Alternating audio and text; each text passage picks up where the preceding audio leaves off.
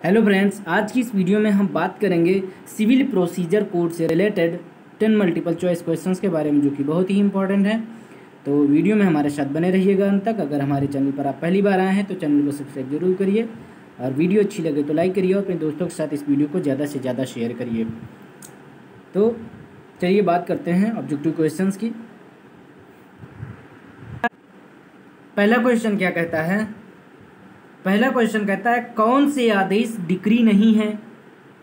तो कौन से आदेश डिक्री नहीं है? इंपॉर्टेंट क्वेश्चन है यहाँ पर। तो यहाँ पर आपका ई ऑप्शन बिल्कुल सही है। उपरोक्त सभी।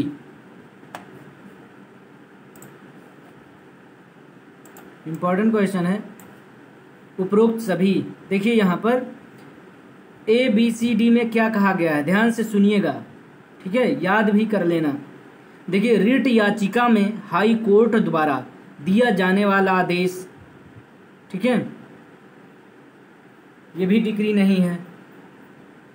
बी ऑप्शन में क्या कहा? उत्तराधिकार प्रमाण पत्र प्रदान करने वाला आदेश, ठीक है? ये भी सी में कहा है, पूर्ण पीठ के द्वारा विधि के प्रश्न पर दिया जाने वाला फैसला।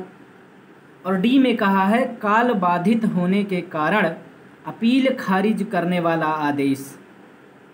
ये चार पॉइंट्स हैं, ठीक है? तो ये सारे आदेश जो है डिग्री नहीं है। मतलब उपरोक्त सभी ई ऑप्शन आपका यहाँ पर क्वेश्चन नंबर एक में ई ऑप्शन आपका बिल्कुल सही है। तो ये चारों पॉइंट्स आपको याद रखने होंगे, ठीक है?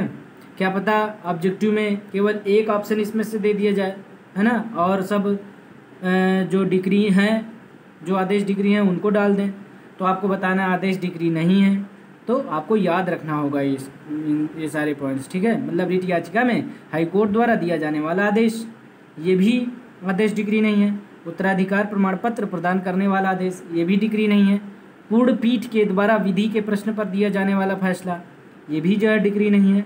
काल बाधित होने के कारण अपील खारिज करने वाला आदेश, ये भी डिग्री नहीं है, ठीक है?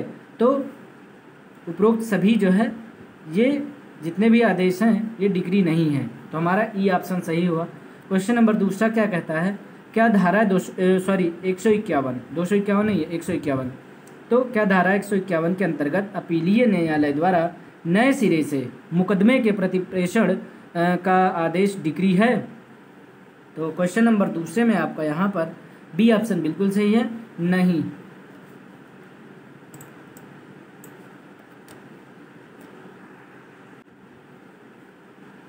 क्वेश्चन नंबर तीसरा क्या कहता है? निम्नलिखित में क्या सही है? ठीक है? तो ए ऑप्शन कह रहा है, प्रत्येक डिग्री अपील योग्य होती है मतलब धारा छियानबे। बी ऑप्शन कह रहा है, किसी विधि के प्रश्न के अंतर्ग्रस्त होने पर डिग्री के खिलाफ उच्च न्यायालय में द्वितीय अपील हो सकती है, परंतु अपीलीय योग्य आदेशों से कोई भी द्वितीय अपील नहीं हो सकती। सी ऑप्शन आदेश प्रारंभिक या अंतिम नहीं हो सकता। डी आदेश के लिए यह आवश्यक नहीं कि वह किसी वाद में पारित किया गया हो। और ई ऑप्शन में कहा उपरोक्त सभी। तो यहाँ पर ई ऑप्शन आपका बिल्कुल सही है। क्वेश्चन नंबर तीसरे में ई ऑप्शन आपका बिल्कुल सही है। क्या कह रहा है प्रश्न में कि मतलब निम्नलिखित में से क्या सही है? ठीक है तो ये सारे पॉइंट सही हैं, जो भी कहा गया है। मतलब आदेश प्रारंभिक या अंतिम नहीं हो सकता। याद रखिए सारे पॉइंट्स आदेश के लिए यह आवश्यक नहीं है कि वह किसी वाद में पारित किया गया हो, ठीक है? फिर किसी विधि के प्रश्न में अंतर्ग्रस्त होने पर डिक्री के खिलाफ उच्च न्यायालय में द्वितीय अपील हो सकती है, परंतु अपीलीय योग्य आदेशों से कोई भी द्वितीय अपील नहीं हो सकती है, ठीक है? और प्रत्येक डिक्री जो है, अपील योग्य होती है और वो धारा छियानबे में होती है, ठीक है? तो निम्नलिखित में क्या सही है? तो उपरोक्त सभी, ठीक है? ई ऑप्शन आपका सही है क्वेश्चन नंबर तीन में। सारे पॉइंट्स याद रखने हैं आपको। क्वेश्चन नंबर चार क्या कहता है? निर्णीत ऋणी परिभाषित है। तो यहाँ पर आपका ए ऑप्शन बिल्कुल सही है, धारा दो दस। धारा दो दस, ठीक है? निर्णीत ऋणी परिभाषित है तो धारा दो दस के अंतर्गत परिभाषित है, ठीक है? याद कर लीजिए कि निर्णित ऋणी जो है, वो परिभाषित किया गया है धारा दो दस में। क्वेश्चन नंबर पाँच में कहा गया है, लघुवाद न्यायालय का धन संबंधित क्षेत्राधिकार है। तो संबंधित क्षेत्राधिकार है, यहाँ पर ए ऑप्शन सही है, पच्चीस हज़ार। कितना? पच्चीस हज़ार। ठीक है? और नंबर सिक्स क्या कहता है? वह वाद वह वाद जिसमें संपत्ति संबंधी या पद संबंधी अधिकार प्रतिपादित है, सिविल प्रकृति का वाद है। यह कथन उल्लिखित है। तो यहाँ पर आपका बी ऑप्शन बिल्कुल सही है। धारा नौ के स्पष्टीकरण एक में। धारा नौ के स्पष्टीकरण एक में मतलब बी ऑप्शन आपका सही है। याद कर लीजिए। चलिए बात करते हैं क्वेश्चन नंबर सेवन की। क्वेश्चन नंबर सेवन कहता है, कौन सा वाद सिविल प्रकृति का नहीं है? ठीक है? कौन सा वाद सिविल प्रकृति का नहीं? इंपॉर्टेंट है क्वेश्चन तो यहाँ पर क्वेश्चन नंबर सेवन में आपका बी ऑप्शन बिल्कुल सही है। किसी वाद में जाति या धार्मिक संस्कार एवं उत्सव का प्रश्न मुख्य प्रश्न है। ठीक है? तो क्वेश्चन नंबर सेवन में आपका बी ऑप्शन सही है। याद कर रखने योग्य बहुत इंपॉर्टेंट पॉइंट है। ठीक है? बात करते हैं क्वेश्चन नंबर एट की। क्वेश्चन नंबर एट क्या कहता है? धारा दस मतलब विचाराधीन मामला के अंतर्गत। ठीक है? तो धारा दस के लागू होने के लिए आवश्यक शर्तें हैं। तो यहाँ पर क्वेश्चन नंबर आठ में आपका, कौन सा ऑप्शन चाहिए क्वेश्चन नंबर आठ में? क्वेश्चन नंबर आठ में आपका ई e ऑप्शन बिल्कुल सही है, ठीक है? मतलब उपरोक्त सभी, जो भी धारा दस के लागू होने के लिए आवश्यक शर्तें हैं तो ये सारे शर्त जो है धारा दस से ही रिलेटेड है। तो इसका मतलब उपरोक्त सभी, आप ध्यान से सुन लीजिए, धारा दस के अंतर्गत जो ये शर्तें हैं, याद रखने योग्य हैं, आप याद रखिए इनका, इनको याद रखिएगा। मतलब पूर्वतन संस्थितवाद तथा पश्चातवर्तीवाद के प्रत्यक्षता और सारता विवाद विषय एक जैसे हों। बी बी में कहता है कि ऐसा वाद उन्हीं पक्षकारों के मध्य या फिर ऐसे पक्षकारों के मध्य उत्पन्न हुआ है जिनसे व्युत्पन्न अधिकार के अधीन वे या फिर उनमें से कोई दावा करते हों, है ना?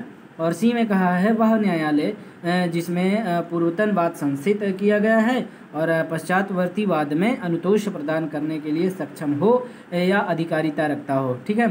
फिर इसके बाद डी में कहा गया, पूर्वतन संस्थित वाद उसी न्यायालय में अथवा भारत के किसी न्यायालय में अथवा भारत की सीमाओं से परे किसी ऐसे न्यायालय में जो केंद्रीय सरकार द्वारा स्थापित किया गया है और वैसी ही अधिकारिता रखता है, अथवा उच्चतम न्यायालय में लंबित हो। ठीक है? ये सारे पॉइंट्स जो हैं धारा दस से रिलेटेड हैं, सारे सही हैं। तो इसका मतलब आपका क्वेश्चन नंबर आठ में आपका यहाँ पर ई ऑप्शन e बिल्कुल सही है। मतलब उपरोक्त सभी। चलिए बात करते हैं क्वेश्चन नंबर नाइन की। क्वेश्चन नंबर नौ क्या कहता है? कहता है, धारा दस के प्रावधान मतलब जो आदेशात्मक प्रकृति के हैं, ठीक है? तो धारा दस के प्रावधान किस पर लागू नहीं होते हैं? आपको ये बताना है। तो यहाँ पर आपका ई e ऑप्शन बिल्कुल सही है, उपरोक्त सभी।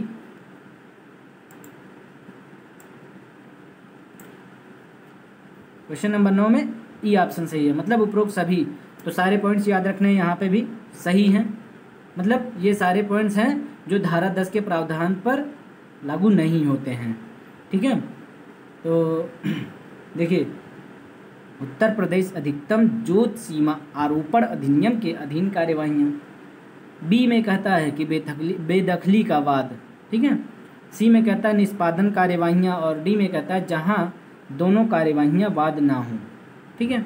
तो ये सारी चीज़ें हैं जो, जिन पर जो है लागू नहीं होता है धारा दस के प्रावधान, ठीक है? या ऐसे कहिए जो ये सारे पॉइंट्स ऐसे हैं जो धारा दस के प्रावधान पर लागू नहीं होते हैं, ठीक है? तो उपरोक्त सभी सही है यहाँ पर। क्वेश्चन नंबर टेन की बात करते हैं। क्वेश्चन नंबर दस कहता है, कुसंयोजन और असंयोजन के संबंध में कौन सा आदेश है? तो यहाँ पर आपका सी ऑप्शन बिल्कुल सही है। आदेश एक का दो खंड। ठीक है? आई होप कि आपको वीडियो पसंद आई होगी। वीडियो पसंद आई हो तो लाइक करिएगा। अपने दोस्तों के साथ इस वीडियो को ज़्यादा से ज़्यादा शेयर करें। और अगर चैनल पर पहली बार आए हैं और अभी तक चैनल को सब्सक्राइब नहीं किया तो सब्सक्राइब कर लीजिए। ठीक है? तो चलिए दोस्तों, अब हम आपसे नेक्स्ट वीडियो में मिलेंगे। बहुत बहुत धन्यवाद।